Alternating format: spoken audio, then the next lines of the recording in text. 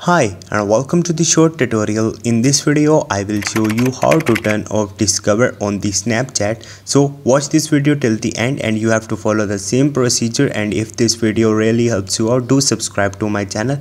So if you don't like discover content on your Snapchat you can simply hide it from here. Actually there is no button to uh, turn off the discover on the Snapchat but in this video I will uh, give you a trick how you can uh, hide the content you don't like. So let's suppose I, do, I don't like this video on the first number. So simply tap a while on it and here you will see uh, different options uh, report uh, report tile hide this user. So you can simply report tile or hide a user from here.